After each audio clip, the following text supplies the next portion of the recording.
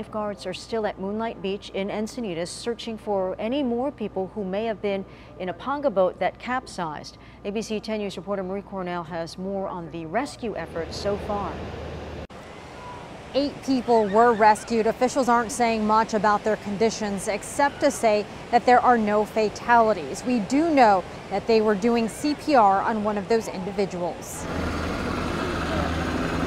From above using the Coast Guard helicopter to below on the water, where lifeguard crews spent several hours Thursday morning looking for anyone that may have been inside this red panga boat that capsized at Moonlight Beach.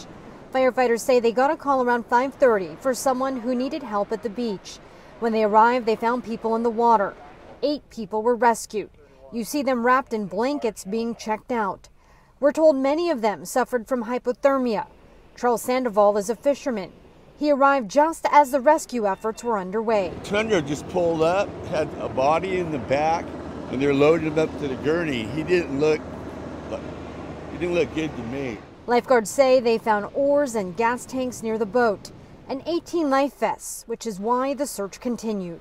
18 life vests were located on the beach, which indicate to us that there were up to 18 passengers inside the panga. But they believe some may have walked away once they got to the beach. People were identified walking up the streets, leaving the area. So that's what oftentimes happens.